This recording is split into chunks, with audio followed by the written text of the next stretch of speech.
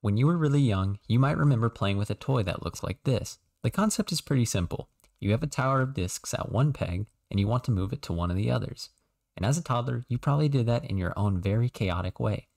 But what if I told you that this toy is an almost one and a half century old demonstration of college level math?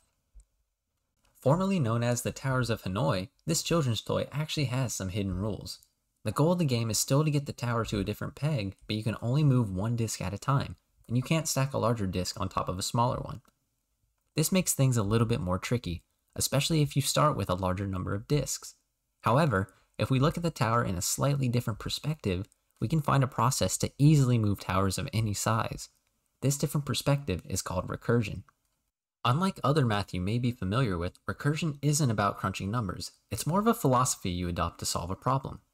But if I were to boil it down into a single idea, I would say it's the process of taking a big, complex problem that takes a good amount of time to solve and splitting it up into smaller, more repeatable subproblems that we can easily solve on their own. To show why the Towers of Hanoi are such a good analog for this, let's solve a variation of it. In this example, we're working with a tower of 5 disks and our goal is to get them all over to this peg. Now, I'm sure with enough spare time, we could do this by trial and error, but there's a pattern here we can take advantage of. If we want all 5 disks here, we know that we first need the top 4 disks here. But to do that, we need the top 3 disks here, which means we need the top 2 disks here. And at this point, I think you see the pattern.